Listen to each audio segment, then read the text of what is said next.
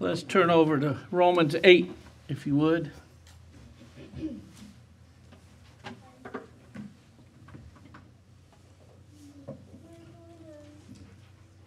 That song was written by a man I know or knew. He's with the Lord now. Frank Garlock. And uh,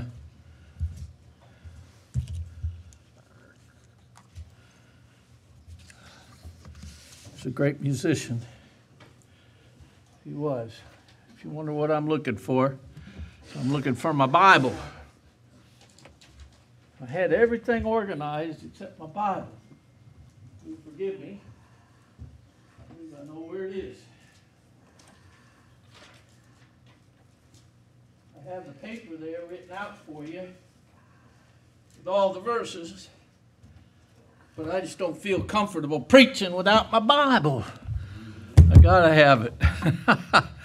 I just gotta have it. Romans 8 28, you've got it there. And we know that all things work together for good to them that love God, to them who are the called according to his purpose. For whom he did foreknow, he also did predestinate to be conformed to the image of his Son, that he might be the firstborn among many brethren. Father, I ask you to help us now. Much has happened in this service, and I really praise the Lord for that report about the about the fair. And Lord, you know that pastor's not here. Things are out of pocket a little bit. But Lord, I pray you'd help us settle into the Word of God now. We ask you to speak to us and help this poor preacher, a dying man preaching to dying men. Help, I pray. In Jesus' name, amen. amen. These verses are part of a context that discusses suffering. We see in verse 18, which is on your paper, for I reckon that the sufferings of this present time are not worthy to be compared with the glory which shall be revealed in us. Well, well, the suffering of this present time, that's for certain. And Mike, I want to title this message, Make Sense of the Mess We Are In. Always try to do that so he knows what the title of the message. Uh, if somebody wants a copy, he probably make a CD for you or do something to help you with it. I think he also puts them online sometimes. But isn't that a good promise? Yeah, thank God. Sometimes life gets so tough. But to think, it's, it's like, I always liken it to a lady having a baby. I mean, I've heard them scream, I've heard them moan and groan and cry, and all kinds of things. But when that baby's born, it just seems like instantly it's just all forgotten. And wow, look at the baby. Look at the baby. And I kind of feel like that's the way life is for us. We're going to moan and groan and go through tough times in this life. But once we step on shore, step once we step into heaven, ah, we'll just forget it all, probably. It's going to be so glorious and so wonderful. It's a great promise. Promise of something better. Yeah, better than what this old creation is. For we know that the whole creation groaneth and travaileth together until now. That's not a fun verse. That isn't. The groaning of the creature, Romans 8 23. And I'm going right through this list, so you should be able to just read them with me, and that helps me to preach faster.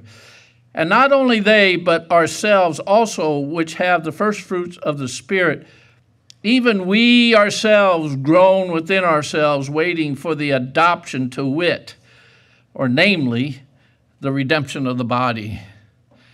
And uh, the older you get, I'm 71, the older you get, the more you groan. yeah. I was just getting out of a chair and I go, oh, and my wife said, what, what'd you say? I said, not that I just groaning. just groaning. Yeah. But we groan for something. I mean, we long for something. And that's for the redemption of the body. That's one of the great, wonderful doctrines of the Bible is that somebody who's saved, when the Lord comes back or when we die, uh, we get a new body and uh, it's perfect. No pain, no suffering. And uh, that's awesome. But Christians are in quite a mess. The Apostle Paul said in Philippians 1.23, For I am in a strait. Uh, he's in a, in a bind here. He's, he's He's, he's conflicted. I'm in a confliction between two, two things. Having a desire to depart, that means, and to be with Christ, that means to go to heaven, which is far better. He said, I, I, I'm in a confliction. I didn't put the other verse down there, but the other verse is uh, that you know, he wants to stay with them and minister to them. So he's in a, he said, I'd love, I just, man, I'm ready to go to heaven. And, but he said, it's need, I want to stay here. It's needful for me to help you. And uh, that's a, that's important thing. And so he didn't, he didn't say he came to the conclusion, but he did say it was better for him to go to heaven but yet the need was still there. And there, there we are. We're our citizenship's in heaven, but we're stranded here on earth. Yeah. We sure are. And uh, we just don't know how much longer we will be stranded. This isn't our home as a Christian. We must dwell here for a while. We're strangers and pilgrims down here. Think of that. We're strangers. I, am going to tell you, they used to say that the church was following the world. If the world got a little worse, then the church was getting a little worse. World get worse, church would get worse. But I'm going to tell you, right now in this country, the world has just went into a sprint and uh, there are churches that are following, but they can't keep up with the wickedness that's going on right now. And that's the truth. Uh, it's becoming more and more obvious that Satan's behind more and more things. That he's been behind all along. He's just expo- being exposed now. And so here we are in this old world, strangers and pilgrims. We don't exactly, Christians don't exactly fit in anywhere. We don't fit in. If you're working at a place and they have a party, well, just you just don't fit in a lot of times. If the community has an event, well, unless you have a booth out there winning people to Jesus, uh, you don't fit in. You don't fit in. None of our people went out to the fair to hear the live music. I know that's so. You just don't fit in. And that's the way Christians are.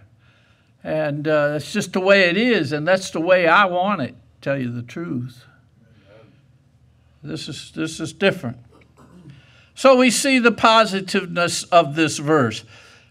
In Romans 8 28, and we know. We know some things. We know something. The Bible talks about knowing some things. You know, and Charles Darwin wrote his book about evolution. Do you know that in for 800 times he wrote we suppose. We suppose this is so, so this must be so. Thank God he didn't write the book of, of we suppose. He wrote the book of we know. Amen. We know whom we have believed. And uh, thank God for that. Psalm 46 10. It's on your paper. And did somebody come in and not get a paper? Everybody got a paper? Okay, just find 46:10, Psalm 46:10. Be still and know that I am God, and I will be exalted among the heathen. I will be exalted in the earth. Yeah. Praise the Lord. We see the God of the Bible. We got to take the Bible by faith, but we can do that because of the Word of God. The Word of God is more up to date as, uh, than the local newspaper is. It really is. Paul knew something in 2 Timothy 1:12, for the which also I also suffer these things, nevertheless I am not ashamed, for I know, that's the song he sang, I know whom I have believed, and am persuaded that he is able to keep that which I've committed unto him against that day. Sometime you ought to just take that verse and break it down and study that thing. Apostle Paul said, I know something here, and I'm persuaded it's so. He's convinced it's so. John knew something in 1 John 5 13. These things have I written unto you that believe on the name of the Son of God, that ye may know that ye have eternal life, and that ye may believe on the name of the Son of God. You can know you have eternal life. That's why we can go out to the fair and tell those folks, you know what? Listen to me. Please listen to me because I can show you a way that you can know that you have eternal life. Amen. Know it. You know, most churches don't do that. Most churches don't do that. You've got to work your way or appease God in some way. And, uh, but no, the Bible says you can know. Once it's settled and you have eternal life, it's settled, it's done, it's over. You've done conquered that problem, or God conquered it for you. And praise God, John knew, he knew that he had eternal life. We can too. You and I can know John 1 John 5:13. And uh, yeah, we can know that too. John knew he was saved, and why can't we know he's saved? Paul knew, then we can know. But there's some things we don't know. One, we we don't know what to pray for all, all the time. And I'm telling you, that's the truth. I've I, I'm I'm taking care about how I pray. I do. I don't think you ought to be haphazard. If you're a Christian, God listens to you. And you better not be haphazard in your prayer. When you pray for someone, you be pretty specific. You, you tell God what you'd like to see, and you better make sure it's right. You know, kids around here say that they'd like to pray for snow in the winter, you know. And that's cool. That's all fun. But I always stop them and say, you know, let's pray for snow, but let's also pray nobody will get hurt by the snow. And we got to be responsible for how we pray. We really do. And sometimes those prayers that we make for someone is not what God wants for them. And uh, sometimes those prayers we make for ourselves are not what. So we don't always know in uh, Romans 8:26, we lack sometimes we just lack wisdom. Likewise, the Spirit also helpeth our infirmities, our weakness, our you know our lack of ability. For we know not what we should pray for as we ought, but the Spirit itself maketh intercession for us with groanings which cannot be uttered. You know, I don't know what God's language is, but I don't know it. What language does the Holy Spirit talk to God with? I don't know. I'm not privy to that. But sometimes I don't know what to pray for right. I don't. And uh, in a lot of ways. But I can pray. I'll pray to the best of my ability, but sometimes the Holy Spirit just, you know, says, hey, let me step in here and pray for you and make intercession for you. And He does it in a language I don't know. He does it in God's. I don't know that language. Maybe I'll be taught that in heaven. I don't know. Sometimes we don't know what to pray for. Sometimes we don't know. Well, all the time we don't know when the coming of the Lord is. We just don't know. It says in Acts 1 7, and, we, and he said unto them, it is not for you to know the times or the seasons which the Father hath put in his own power. So the Lord said, You don't know the signs, times or the seasons. You know, with all this Israel and the attack on Israel and all of this stuff, I mean, the internet is just full of people trying to tell what the prophecy is. But let me just say this to you. And he said unto them, It is not for you to know the times or the seasons, okay? So don't, let me just advise you don't try. You don't know why they attacked Israel, and I don't either. God does. God knows it all. And he, and he goes on, which the Father hath put in his own power. It's all in God's hands, it's all in his power. We don't know. We might not always know what the will of God is for us from day to day. I believe God wants us to know. I believe He desires us to know. I think He's going to show us if we earnestly and righteously pray for the will of God, but sometimes we don't know yet. And we don't know what's going to happen tomorrow. I've had some strange days that came forth. Uh, you don't know. I remember the morning that uh, I was sick and I knew I was in trouble. I cried out to God. I, I literally cried out to God. Uh, not, not prayed. I cried, Oh God. I was wailing, Oh God, I don't know what I'm facing, but I need your help. Please spare me, help me. And I was crying out to God.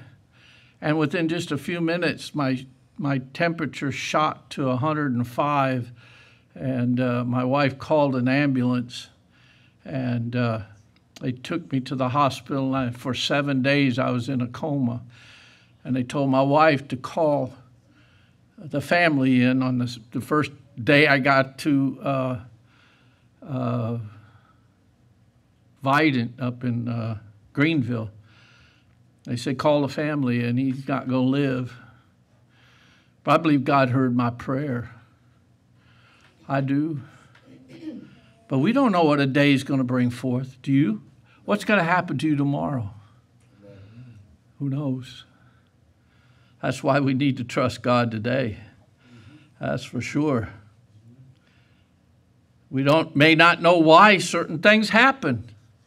I think it's okay to ask God why, but it's not okay to demand an answer because sometimes He's not going to tell you why.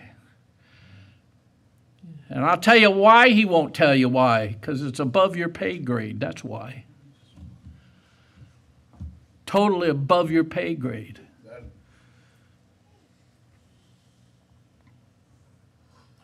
That's a, that's a military government expression.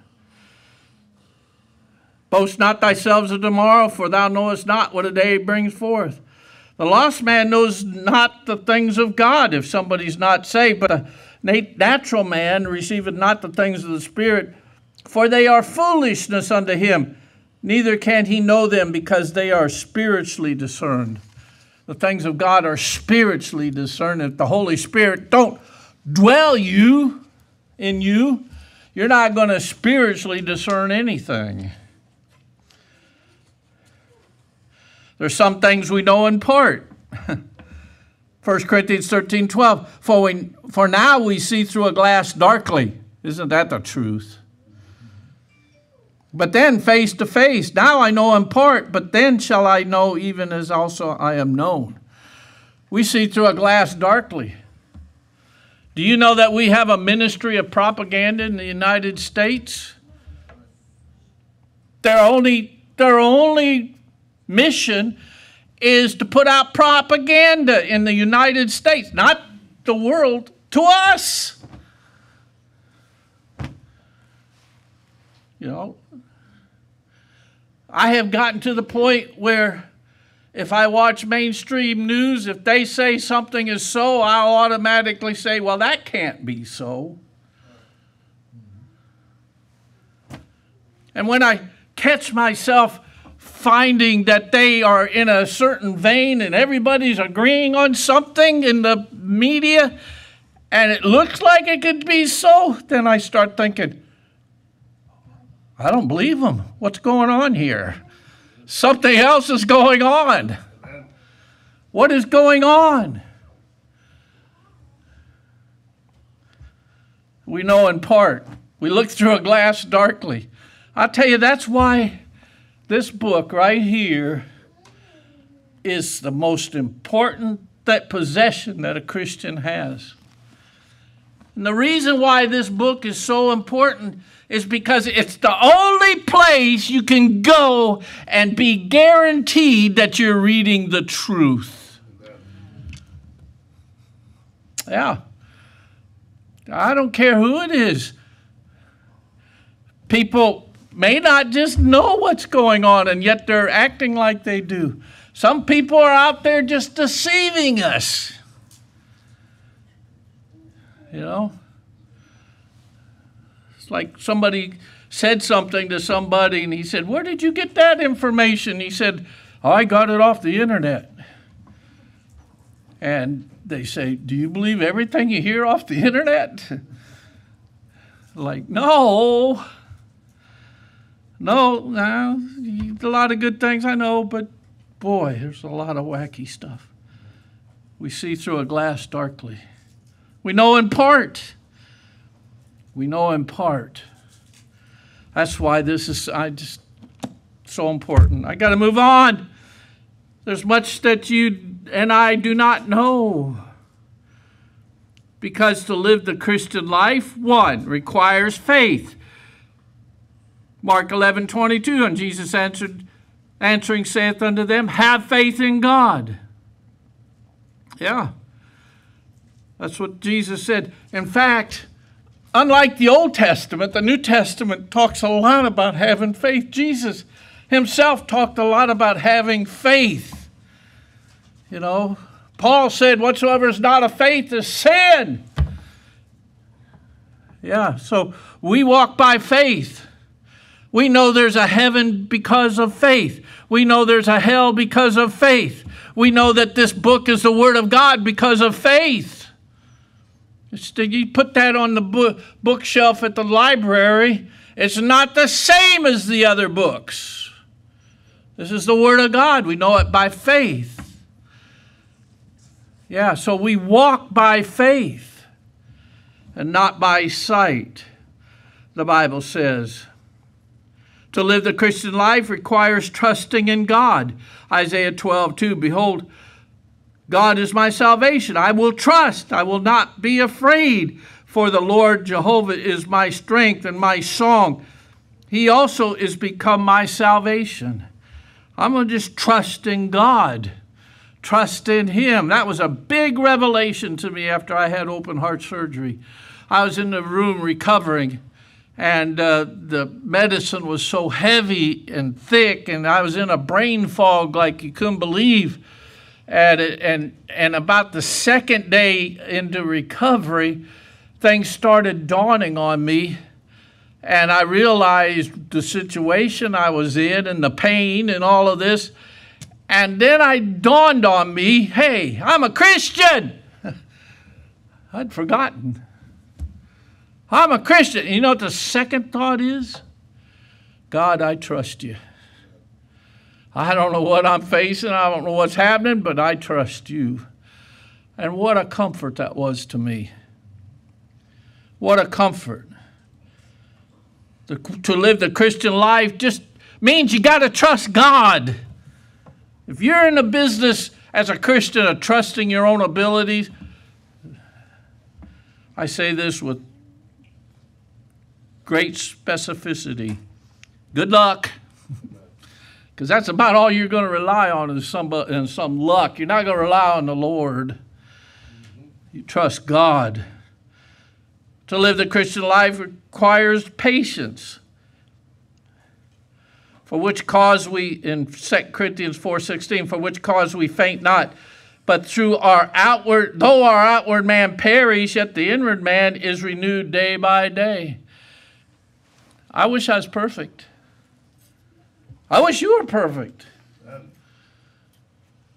Somebody said, if you're looking for a church and you find a perfect church, please don't join it. It won't be perfect anymore, right? That's about the truth. I wish I was perfect, but I'm not. Wish you were perfect, but you're not. And so we need to have patience. We have to have patience with others, patience with ourselves, patience with our family, patience. And to know that all these situations that arise, we can uh, give them to the Lord. Uh, 1 Peter 5 7, casting all your care upon him, for he careth for you. What a blessing that God cares for us. To live the Christian life requires Bible study. Bible study. 2 Timothy 2:15 study to show thyself approved unto God a workman that needeth not to be ashamed rightly dividing the word of truth a Bible study I would uh, get after Bible study one of the things that happened to me after my open heart surgery and then uh, a few months later uh, I was put in the hospital for sepsis and nearly died. Um, one of the things I did, so I just sat. I all I had to do all day is just sit there and try to recover. And so I thought, well, you know, we we talked about doing a study on uh, the comfort verses in the Bible. And I never intended to write a book. I just wanted to study start in Genesis and study through it and glean the comfort verses in the Bible. And uh, that's, that's basically how that whole thing started. It wasn't until much later that I thought, well, you know, this might be a good book, you know? And uh, yeah. So, um, we worked on that, but it was a Bible study. It was, I give the give the book away sometimes to some preacher or something, and I'll tell them, look, you, you take this book with a grain of salt because some of it was written while I was on oxycodone, okay? I'm telling you the truth, it was. I'm not lying. But uh, I did go back and check my work when I wasn't, so it, it turned out okay. But study your Bible. There's so much in it. You'll never exhaust it, ever. There's, I keep thinking of books I'd like to write. I wish I could live to 200, man. I might write a bunch of books, but, uh, yeah. We need to be in the, in the Word. Number two, the people of the verse, them that love God. That's who it's, that's who it's talking about. Romans 8 28, for we know that, uh, well, what's it say? And we know that all things work together for good to them that love God, to them who are the called according to his purpose. Let me just say, it's to people who love God. It's to Christians who love God.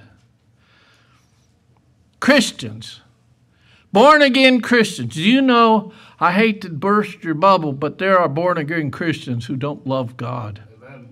Yeah, amen. That's the truth. Apostle Paul got so frustrated, and God used him to write the, the Word of God. And he said, For anybody who loveth not the Lord Jesus Christ, let him be anathema maranatha. Anathema, that's a transliteration from the Greek. Anathema means let him be accursed. Maranatha means the Lord is coming. Apostle Paul said, if somebody says they're a Christian and they don't love Jesus, just let them go be accursed. Because they are, and they will be. And if they're truly saved, there's chastisement coming to them. You know? And the Apostle Paul said, I'm not going to get my gun and go after them. That's not what I do. He said, but I'm just going to let them go. The Lord's coming back, He'll straighten it all out. He'll straighten it all out. He surely will. And that's good to know. It is. It's to them who love God. This verse isn't for somebody who doesn't love God. This is the verse is to somebody who loves God, who loves Him. Love the Lord thy God with all thy heart and all thy soul and all thy mind and all thy body. Yeah, I'm jumping ahead.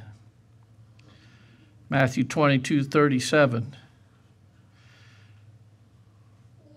With all your heart you love the Lord.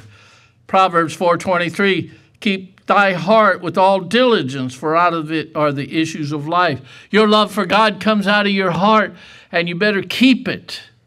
Tend it. Make sure your heart's proper before God. Jeremiah said, My heart's deceitful above every, all things and desperately wicked, and who can know it? Well, God knows it, you know, but that doesn't mean only bad things come out of your heart. We're to love the Lord thy God with all your heart. That's everything. That's everything. So Romans 8 28's promise, the promise of it is to those who love God. Jesus said, If you love me, in John 14, 15, if you love me, keep my commandments. Does it matter what God says? Man, if you're the Christian who walks out of this place and say, "Well, I don't care what the Bible says. I don't care what God says. I'm going to do this." You don't love God. I'm telling you, I've heard it. I have heard it. You can't qualify what God says. If you love God, keep His commandments. Amen. I didn't say it, I'm just the messenger. Jesus said it himself. It's in the red in your Bible if you have a red letter edition. If you love me, keep my commandments. So love goes deep. And I believe it's because God's love goes deep. I believe God created this whole world and universe out of love. I do.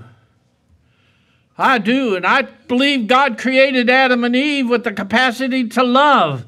And I believe that God set this whole world up so that He could love Adam and Eve and Adam and Eve could love God.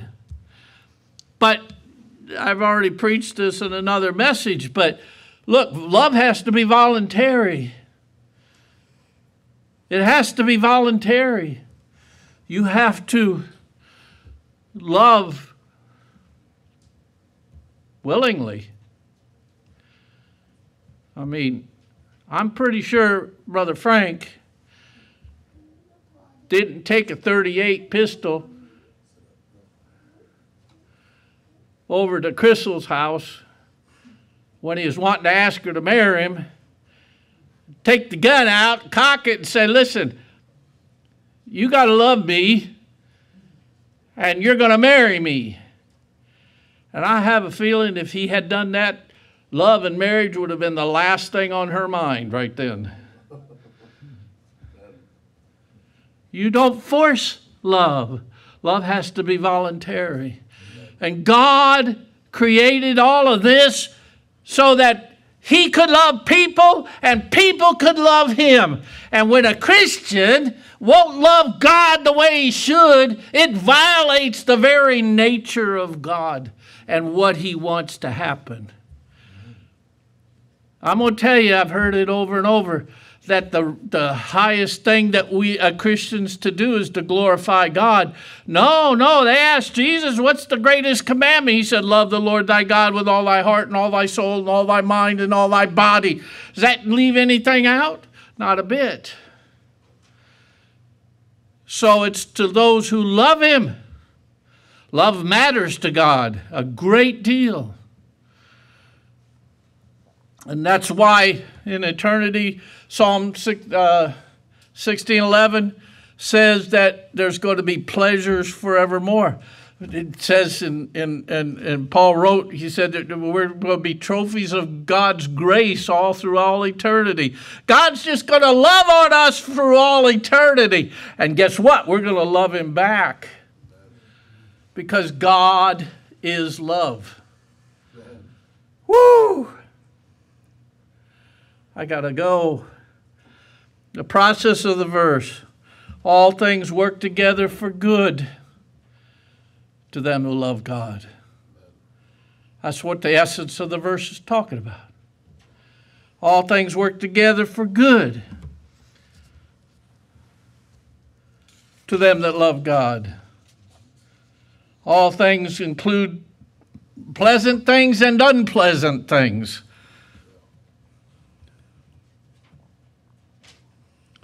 It includes downright hurtful things. But in 1 Corinthians 3 9, it says, For we are laborers together with God. Ye are God's husbandry, ye are God's building. God, for the Christian, God is the farmer, and you're the farm. Think of that.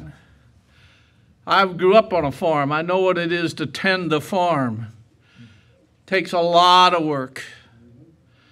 A lot of work to do. And that's what the husbandry is as a farmer.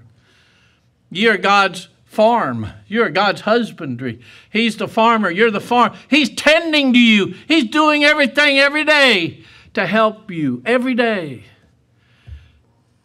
It says here that you're God's building. This building just didn't, you know, happen in a hurricane and it just got all thrown together. Somebody had to build the thing. And it was a process and a lot of work to put this building together. And that's exactly what this verse is talking about for the Christian that God is putting your life together. That's why in 1 Corinthians chapter 3 it talks about uh, no man can lay on any other foundation but Jesus. I know that didn't sound right, but that's the way it is. You can't build on any other foundation but Jesus. And He's trying to build into our lives. So, all things, all things, does any detail escape God? No. No. Not to the God who created atoms. what can escape God? You know, how many, they say, well, how many angels are on the head of a pin? Man, I, who would know? I don't think, you know, any. One maybe.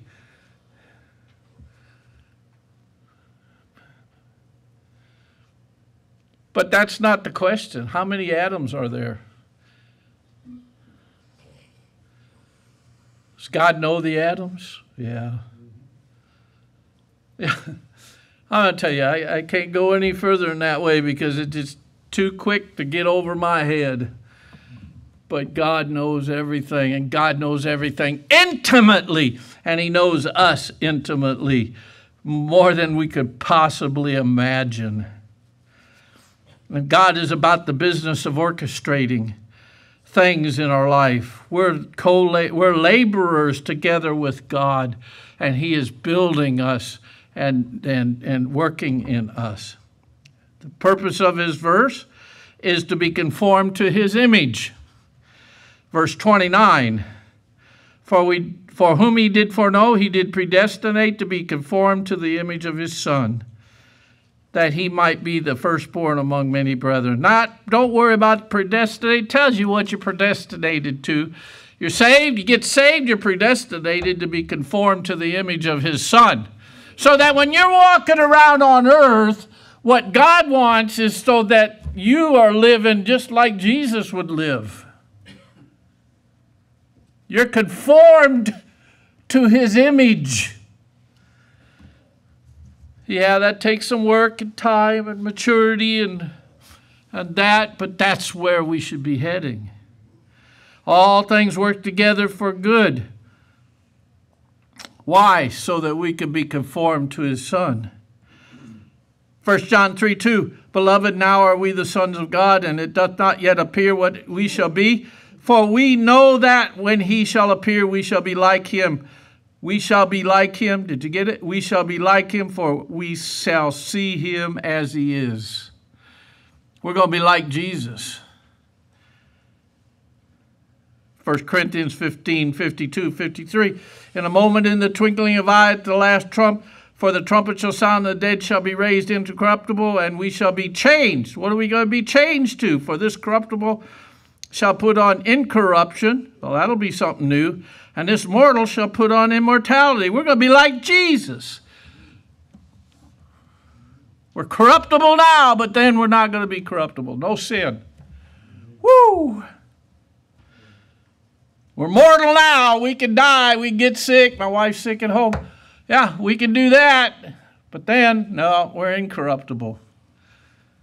Those viruses won't have any way to get to us. We're incorruptible. Hallelujah. And is predestined to be so. Not salvation, but to be conformed to the image. We're predestined to be conformed. Philippians 1 6, being confident of this very thing, that he which hath begun a good work in you will perform it until the day of Jesus Christ. Philippians 3:21 Who shall change our vile body that it may be fashioned like unto his who Jesus Jesus glorious body according to the working whereby he is able even to subdue all things to himself. We're going to be changed like uh, into the image of his son. But right now on planet Earth Right now in your Christian life, all things are working together for good to them that love God so that you can be conformed to the image of His Son. Ooh, that's deep, deep, deep. Things don't happen by happenstance, not to the Christian. You don't have a car accident I don't believe. Man, I've been in enough of them, and I've seen God work this and work this and work this and then this, and then an accident comes. And I'll look back and say, look, you know, the Lord worked here, and the Lord worked here, and the Lord worked here, and the Lord worked here, and then the accident happened, and it happened just an amazing way. And, you know, I've even, some of the best cars I ever had came through an accident. They totaled my car and the insurance pays, you know, the money and I go buy another car. Lord said, I want you to have another car. I mean, it's crazy. I know I'm talking crazy. But all things work together for good to them that love God, to them who are the called according to his purpose. Some say great persecutions coming to the church. I believe it is. I really do. Unless something changes, I believe persecution's coming. I don't have time today to get into it. But the Apostle Paul stated this, and I'm closing. Philippians 3 8 to 10. Yea, doubtless, and I count all things but loss for the excellency of the knowledge of Christ Jesus my Lord, for whom I have suffered the loss of all things and do count them but dung, that I may win Christ, that I may win Christ. Whatever came, man, he some of the, the hardest things you could possibly have. He was whipped with a cat of nine tails 39 times. Several times. He was left for dead, beaten and left for dead, stoned one time. I mean, these guys, grown men, taking rocks and, and leveling them at him and, and leaving him for dead. And somehow God raised him up from that. Shipwrecks. And he's doing all that to get the gospel to people. and be found in him, not having my own righteousness, because we don't have any righteousness, Amen. which is of the law, but that which is through the faith of Christ, the righteousness which is of God by faith, that I may know him. You want to know Jesus? That I may know him and the power of his resurrection. You want to know Jesus' power? And the fellowship of his sufferings. Now, this is where I'm careful about praying about certain things. We live in an amazing society in America, but I'll tell you what, if, if some Christians in other countries would have tried what you guys tried, they would be in prison today or dead.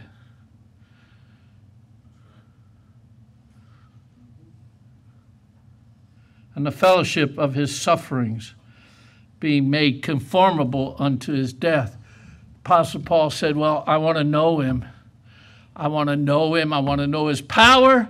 I want to know his sufferings. And if I if I have to, I'm going to do what I what God wants me to do. And if it means that I suffer and I'm beaten and stoned or or whipped nearly to death, okay. And if it means I die, I want to be conformable to Jesus' death. He died for us, He died for righteousness. Now, I'm telling you, I'm preaching above my head, but may we all be willing to die for Jesus if, we, if it comes to that. If it comes to that.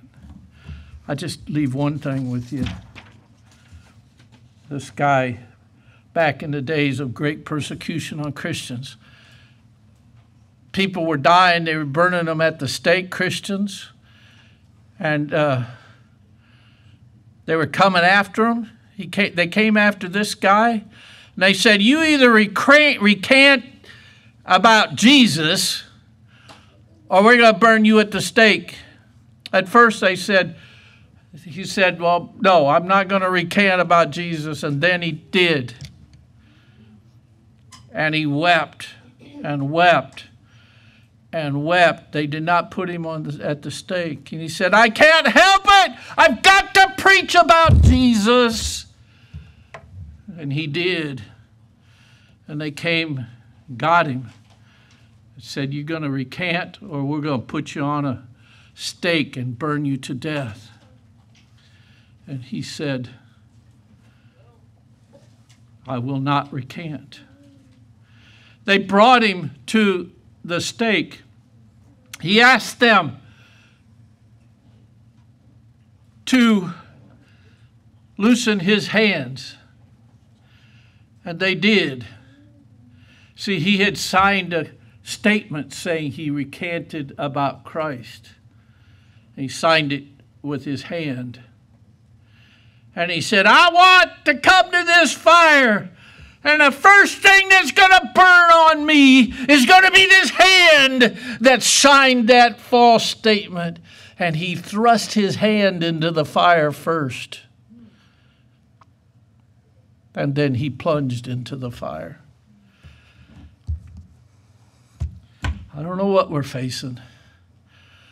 But I do know this all things work together for good to them that love God, to them who are the called according to his purpose. Father, take this message, Lord, and speak to my heart and everyone here.